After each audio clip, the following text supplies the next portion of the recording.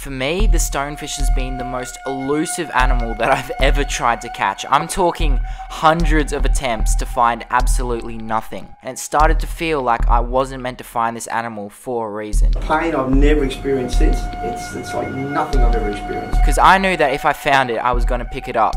And I also knew that it was the deadliest and the most venomous fish in the world. Here in Australia, we call it the landmine of the sea. So this right here is going to be my biggest attempt at trying to catch a saltwater stonefish yet. And I thought my best opportunity to find the area where I think these stonefish might be hiding is to meet up with someone who's had a deadly encounter with one before in a way that you do not want to meet these stonefish. So I'm going to go talk to a bloke now who's actually encountered one of these stonefish and got stung by one in the wild. Well, thanks for jumping on the interview, brother. Um, so I hear you've had a pretty scary encounter when it comes to stonefish. Yeah, mate, they're not my best friends, I can tell you. mate, uh, I was up in Caloundra, um, just down at the beach there, I took my took my shoes off like I saw people do. We just, you know, we don't go swimming anymore. We don't go running on the beach or chasing dogs or any of those sorts of things. I walked this a bit of a stony area, and uh, I was I was just walking on my own. Um, I didn't see anything. I didn't see anything at all. Just saw some stones in the water. Um, the next minute, I, I, I put my foot, my, my, right foot down, and just went. The pain was excruciating. It's like just that one, two, three. How's your father? It was like bang. It was a pain I've never experienced since. It's it's like nothing I've ever experienced. Went off to the hospital. They put me on a drip. Um, apparently they can kill you. So I was very lucky. But uh, when you get that pain though, mate, you just wish you were dead. So where exactly was the stonefish when you found it? Like what part of the beach? Well, there's a, a little rock pool just at the end of Kings Beach. Yeah, Near where all the people swim? Yeah, yeah. Well, I used to scuba dive there. Everyone used to do that. Yeah, uh, right. Right next to where people hang out. And to think that the world's deadliest fish sitting right there. Right and there's kids that go on those rock pools. Mate, wouldn't, the kid wouldn't survive it. The kid would not survive that. The pain is just excruciating. well, to say that interview made me a little bit more nervous to catch one of these stonefish is definitely an understatement. But the species of stonefish he was talking about is a saltwater estuary stonefish. Now, a few months ago, I actually tracked down a freshwater stonefish, more commonly known as a bull rout, in a creek system not too far from my house. And that right there is a little bull rout. Take a look at that. Picking them up. You see all those spikes across the top there?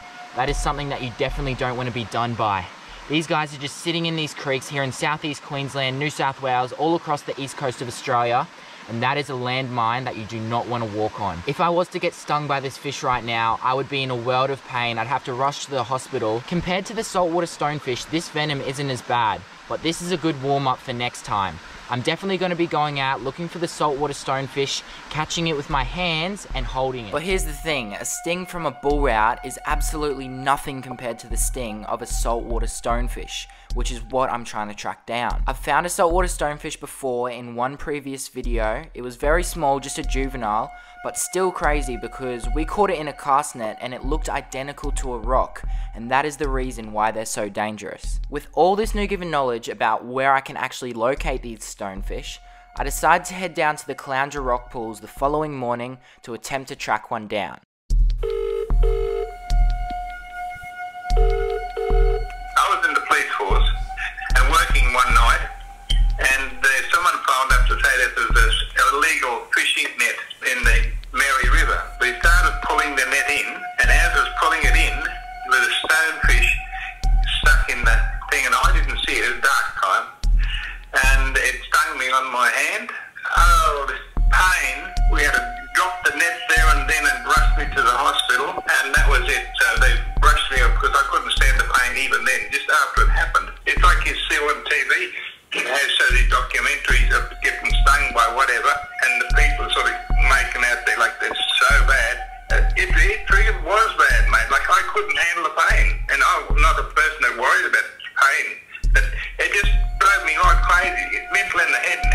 So you've been a beekeeper your whole life as well. What's the difference between getting stung by a bee and getting stung by a stonefish? Uh, there's nothing. It, uh, I'd rate it one out of a hundred.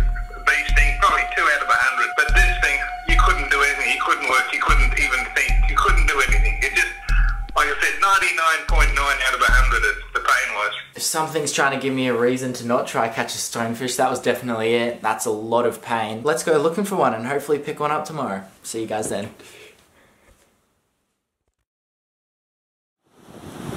So it's actually day two at the moment and we're out here in Caloundra and we're looking for stonefish again. Now, I needed a bit of help with this one. I've gone out looking for stonefish 50 plus times over the past couple months and I really want to find one.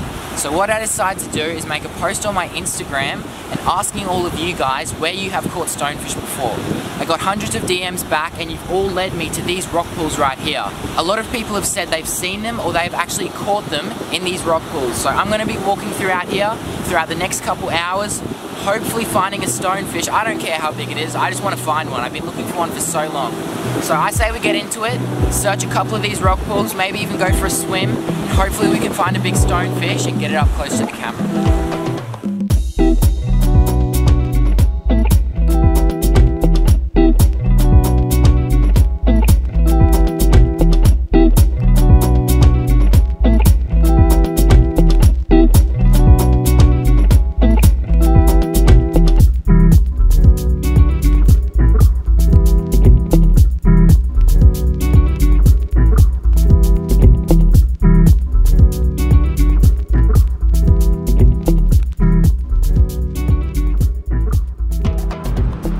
The amazing thing about these rock pools is it creates life for so many species and what will happen is as the tide comes up, the water and all the fish, different species will get pushed into these rock pools and as the tide proceeds, they'll get stuck in here, trapped until the next high tide. So that's pretty much what we're looking for today. I've been coming here for years. We're in between Kings Beach and Happy Valley at the moment, just the rock pools in between. And since I was young, I've seen blue-ringed octopus, heaps of different species of sea snakes, and even stonefish. So we're just gonna keep walking through these rock pools. The tide's going out at the moment. Hopefully we can find a few species that we can get up close in front of the camera.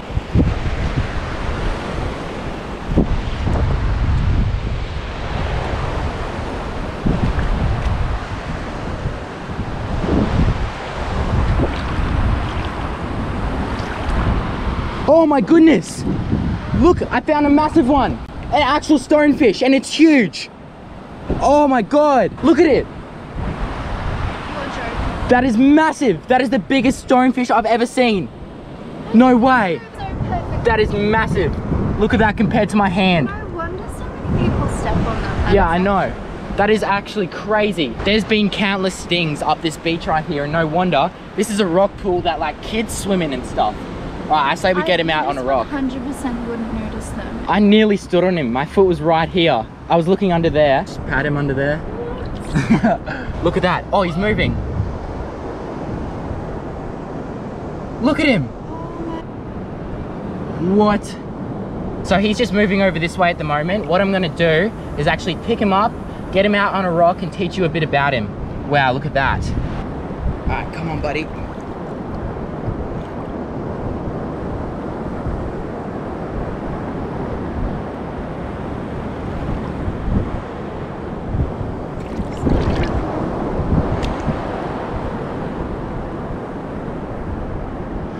And there we go. Oh my gosh. That's right so there. much out of water. That right there is a stonefish. Look at that. See these spikes at the top here? That is the biggest stonefish I have ever seen. Wow, take a look at that. That is absolutely massive. This is the ugliest fish we have here in Australia. And a matter of fact, it's also the most venomous. I do not want to get stung right now. This is considered the worst pain known to man, and that is why I am shaking. But what an awesome creature. All right, I say we get him out in the rock and teach you a bit about him. I don't want to pick him up for too long. Now, for anyone wondering if this fish is going to be okay out of the water, he is going to be totally fine. These stonefish often live in intertidal zones here on the east coast of Australia. And pretty much what will happen is the tide will go out and these stonefish have the ability to stay out of water for up to 24 hours at a time. So even when you're walking on the land in intertidal zones here on the east coast, you are not safe because these stonefish could be sitting there, spikes up, waiting for someone to come along and step on them. This is why so many people get stung. If I put it next to it, you're not looking for that in the water. You're thinking that's a rock, straight up. And that is why these dorsal spikes will get you. As much of a bad reputation that these stonefish have, they're a very misunderstood fish. It's not their fault that they're the deadliest fish in the world. They're just trying to protect themselves. So if you catch a stonefish on the fishing rod or if you see one, don't try kill it. Obviously, if it's in a place like this, we're at King's Beach right now, I'm gonna relocate it to a different place because you don't want someone to get stung. Now, having the name stonefish, what they use this for is to camouflage in with the rocks and they use this to hunt. Throughout this morning, we've seen a lot of little fish swimming around the rock pools and this guy just be sitting there waiting in camouflage for something to swim past, strike out at one hundredth of a second, get it in its mouth and swallow it whole. See these spikes up here that just went up then? These are the dorsal spikes. They have 13 dorsal spikes, and on each of those dorsal spikes, they have two venom sacs. That's 26 chances of going to the hospital. Is that what you get stung on, or is there like a needle that comes out of them or something? This doesn't look sharp at all. How does that actually spark you? But it's not this cover, it's what's underneath. And I've got this little bit, I'm gonna reveal it to you, and maybe a bit of venom will even squirt out as well, we'll see. Ready? See that spike right there? So just to show you what it would do to your feet, you can see these spikes that have just been exposed right now. If you get this little cloth and put it over them, that's what's going into your foot. That's like a hypodermic needle that injects venom and just starts exploding stuff inside your body. So although we just milked this stonefish, you saw the venom come out then, what will happen is in a couple weeks time, after he has a big feed, that venom will actually rejuvenate and he'll be able to envenomate other things that try to attack him. Not like a bee. Not like a bee where they die. and now that we've showed you how dangerous this species is, I think I'm gonna pick it up again and get it up close to the camera. I gotta be very careful though. Being very cautious of these spikes, I can see how sharp they are now. We're just gonna bring him down here into the shallow water so that if I do drop him, he doesn't get hurt. Now this fish right here is the culprit for over a thousand stings a year here on the east coast of Australia. You haven't stopped smiling this whole time. Yeah, I'm so happy about that. I've been looking for one for like six months. I know. Oh. And you've managed to just find the The biggest, biggest one in the one. Such actually nice fish as well. It's a nice fish. Yeah. Well, it hasn't stung us yet. That Yeah. makes it pretty lovely. So this right here is a very old stonefish. This is full grown and he'd be well over a decade old. Up this one stretch of beach right here, I've heard heaps of stories about people standing on stonefish and getting stung by them. Now, it's entirely possible that this guy, living in a place like this, in this rock pool, who knows how long he's been here, could have potentially stung someone and sent them to hospital. That's absolutely crazy. So if you ever do come across a stonefish in a place like this, let the lifeguards know and they'll like relocate it to a different area. But yeah, don't hate on them. It's not their fault that they're ugly and venomous, but I think he's pretty cute anyway.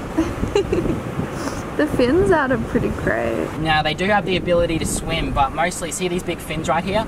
They'll use them to kind of walk across the floor so that they camouflage in and look a bit more like a rock. So how these stonefish will actually reproduce is what will happen is the female will lay some unfertilized eggs on the ground, the male will come find them, fertilize them, and in a couple months later they will actually hatch. So we're gonna get him out of here. What an awesome species, the coolest experience ever. All these months of trying to find stonefish has finally paid off.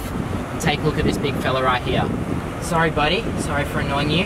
We're gonna release you in a different location so no one takes you. Alright, and take a look at that right there. Thank you guys so much for watching this video. I really hope you enjoyed it. This is one of the coolest videos I've ever filmed, so if you like this kind of stuff, I'll be posting new videos every Friday, so subscribe to the channel and check it out. That is an awesome creature right there. I'm gonna go relocate him to a different location so no one gets stung and he doesn't get hurt. Thank you guys so much. I'll see you again next Friday. Luckily, I had this Tupperware container in the back of my car and we're just gonna go release them at another beach not too far from here.